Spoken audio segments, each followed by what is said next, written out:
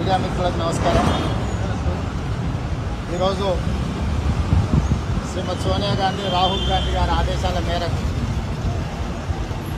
Corona మహమ్మారి దేశ ప్రజలను పట్టి పీడిస్తున్న సందర్భంలో దాదాపుగా దేశమంతా లాక్డౌన్ విధించిన కరోనాను ఎదుర్కోవడానికి.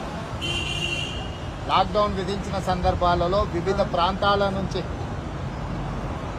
వైద్యం కోసం ఆసుపత్రుల దగ్గరకు వచ్చిన పేషెంట్లతో పాటు పేషెంట్లతో వచ్చిన కుటుంబ సభ్యులకు లాక్డౌన్ వల్ల ఎలాంటి వసతులు కానీ కనీస సౌకర్యాలు కానీ రాష్ట్ర కేంద్ర ప్రభుత్వాలు ఏర్పాటు చేయడంలో వైఫల్యం చెందినాయి.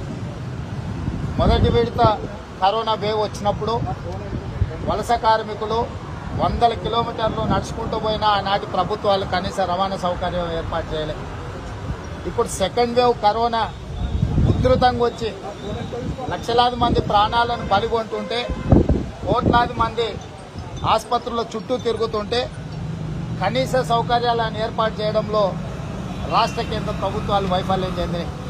దీంట్లో భాగంగానే మా యూత్ కాంగ్రెస్ జాతీయ అధ్యక్షులు శ్రీనివాస్ నుంచి మొదలు పెడితే ప్రధాన కార్యదర్శి అనిల్ కుమార్ యాదవ్ యూత్ కాంగ్రెస్లో ఉండే అత్యంత కీలకమైన ప్రతి నాయకుడు ఈరోజు కష్టాలలో ఉన్న కుటుంబాలను ఆదుకోవడానికి వ్యాక్సిన్ కావచ్చు ఆక్సిజన్ కావచ్చు రెమ్డెసివిర్ కావచ్చు అదేవిధంగా కరోనాను ఎదుర్కోవడానికి అవసరమైన మందులు చనిపోయిన వాళ్ళను శ్మశానాలలో చేర్చి వాళ్ళను ఖననం చేయడానికి అవసరమైన వసతులు కూడా యూత్ కాంగ్రెస్ తరఫున కాంగ్రెస్ పార్టీ తరఫున చాలా చర్యలు చేపట్టడం జరిగింది. దీన్ని చూసి కేంద్ర ప్రభుత్వం కుట్రతోటి నిన్న మీరు చూసిర్రు ఢిల్లీలో కాంగ్రెస్ పార్టీ ఆఫీస్కు పోలీసులను పంపించి మీరు ఏ రకంగా ఈ వసతులు ఏర్పాటు చేస్తారు మీ సోర్స్ ఏందని చెప్పి పేద ప్రజలకు అండగా నిలబడ్డ యూత్ కాంగ్రెస్ జాతీయ అధ్యక్షుడిని పోలీసులు పట్టుకోవడం ప్రశ్నించడం జరిగింది. ప్రభుత్వాలు పేద ప్రజలకు అందించాల్సిన వైద్యం కానీ ఏర్పాటు చేయాల్సిన కనీస సౌకర్యాలను ఏర్పాటు చేయకపోతే ప్రధాన ప్రతిపక్షంగా కాంగ్రెస్ పార్టీ శ్రీమతి సోనియా గాంధీ గారి రాహుల్ గాంధీ గారి ఆదేశాల మేరకు యువజన కాంగ్రెస్ పూర్తి స్థాయిలో దేశం మొత్తంలో ముందుకొచ్చి ఈ ప్రజల యొక్క అవసరాలను ఆదుకోవడానికి ప్రయత్నం చేస్తుంటే విచారణ పేరు మీద కేంద్ర ప్రభుత్వం పోలీసులను పంపించి అడ్డుకునే ప్రయత్నం చేస్తుంది. ఇది దుర్మార్గమైన చర్య. యూత్ కాంగ్రెస్ అధ్యక్షుడు శ్రీనివాస్ని ఏదైతే కేంద్ర ప్రభుత్వ ఆదేశాలతో ఢిల్లీ పోలీసులు ప్రశ్నించారో నూటికి నూరు శాతం యూత్ కాంగ్రెస్ అధ్యక్షుడికి యూత్ కాంగ్రెస్లో పనిచేసే మా నాయకులకు అందరు కూడా కాంగ్రెస్ పార్టీ అండగా నిలబడుతుంది. అదేవిధంగా సోనియా గాంధీ గారి ఆదేశాల మేరకు ఈరోజు మేము కూడా ఇక్కడ కార్యక్రమం తీసుకున్నాం. దాదాపు ఈ గాంధీ హాస్పిటల్ నూటికి నూరు శాతం కోవిడ్ హాస్పిటల్ కిందగా ప్రభుత్వం మార్చింది. లోపల కనీస వసతులు లేవు. అక్కడ ఉన్న వాళ్ళకు సరైన భోజన వసతులు తాగడానికి మంచినీళ్ళ వసతి లేదు. ఇవాళ పేషెంట్లు లోపల ఉంటే వాళ్ళ బంధువులను లోపలికి రానివ్వడం లేదు.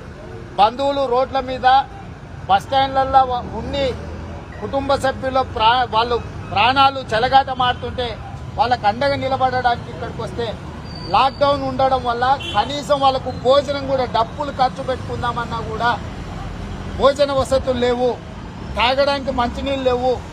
నేను ఆసుపత్రిలో మా వాళ్ళు వెళ్ళి సిబ్బందితో మాట్లాడితే డాక్టర్లకు నర్సులకు కూడా ప్రభుత్వం భోజన వసతులు ఏర్పాటు చేయలేదు.